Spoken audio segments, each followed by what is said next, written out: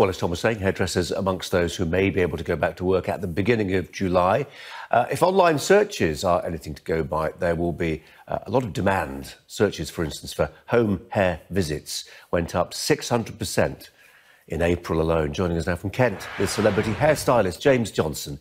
Uh, James, a very good afternoon to you. Uh, we assume, don't we? Well, we assume these changes will happen, so uh, hairstylists will be reopening and going back to work from the beginning of next month. And we assume, too, there's going to be huge pent up demand.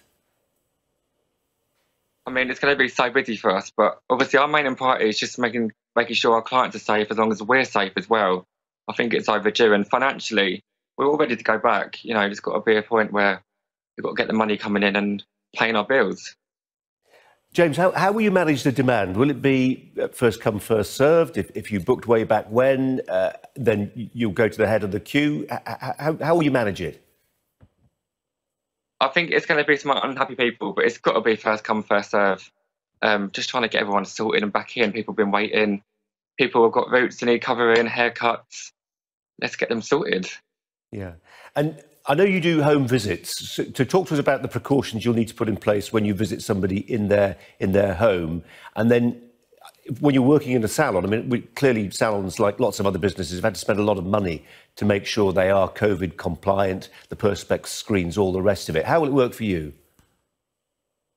I think, like as a beauty industry person, anyway, our um, health stuff and keeping stuff clean and sanitized is already higher. I think it's just reinforcing that we're keeping it super clean, super disinfected. Um, obviously now we have to wear gloves and uh, masks, maybe even aprons, just to kind of keep things to a minimal in terms of contact and what we're spreading on.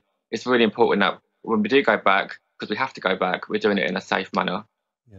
Uh, and what do you think people will notice? I mean, as you say, as you move around people, I mean, can you can you still engage people in conversation? Do you need to sort of face away from them? You, you know, you, the job itself obviously requires that you are you're hands on, you get close.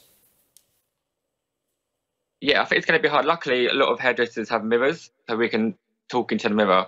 But obviously, wearing a mask, that's kind of that's hard as it is. Letting them with a hairdryer on, so trying to talk over a hairdryer with a mask, it's going to be a challenge. But look, we've got to get back at some point and let's get things going because people need their hair done and people need to be paid.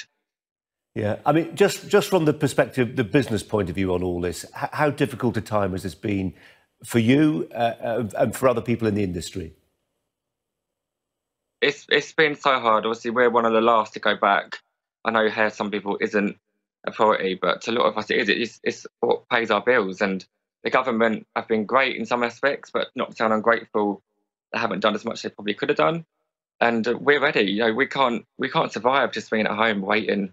We need to get back, and if it means we wear gloves and we wear masks and we do the right things properly, then we've got to do it. It's important just not for financially, but for our mental well-being. People looking good. It's all part of how we cope day to day.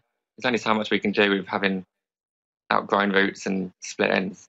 Yeah, I mean, people have learned to cope uh, without paying for it. Um, I mean, do you think there will be long term because uh, a reduction in demand from people because they, they've realised actually uh, they can get somebody at home to to watch a YouTube video rather than paying money to get it done professionally? I think it's that balance. Part of going to the salon is to be in that social aspect, um, mixing with people, having a chat with someone next to you.